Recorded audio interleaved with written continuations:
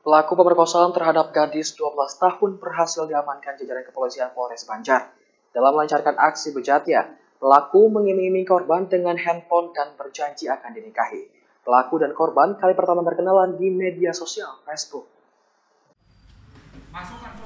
Terduga pelaku pemerkosaan terhadap seorang gadis 12 tahun berhasil dibekuk Satreskrim Polres Banjar. Pelaku ditangkap saat berada di Jalan Raya Banjar Pangandaran, tepatnya di pertigaan lampu merah stasiun kereta api Kota Banjar.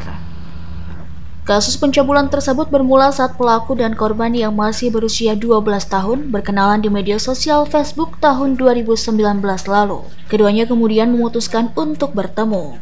Pelaku kemudian membawa korban ke rumahnya di Karang Panimbal, Purwaharja, Banjar. Untuk memuluskan aksi bejatnya, pelaku mengiming-imingi korban dengan sebuah handphone dan akan dinikahi. Di hadapan polisi, pelaku mengaku hanya sekali melakukan persetubuhan terhadap korban yang masih di bawah umur tersebut. Pelaku merupakan oknum anak pengjalanan yang kerap berpindah tempat tinggal sehingga sempat menjadi DPO atau buron selama dua tahun. Si pelaku ini kan dia muter-muter terus, anak pang, berkelana. Modusnya diiming-imingi, dirayu, mau dibelikan handphone, diajak jalan-jalan, kemudian mau dinikahi. Dan antara pelaku dan korban sini kenal kenalnya dari mana? Uh, kenalnya lewat Facebook, media sosial. Berapa kali mungkin mendapat perlakuan asusilan? Keterangannya satu kali.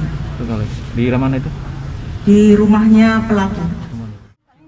Untuk mempertanggungjawabkan perbuatannya, pemuda 20 tahun ini terpaksa harus mendekam di balik jeruji Mapolres Banjar. Tersangka dijerat Undang-Undang Nomor 1 Tahun 2016 tentang perlindungan anak dengan ancaman hukuman penjara maksimal 15 tahun serta denda 5 miliar rupiah. Dari Kota Banjar, Sukirman Radar TV melaporkan.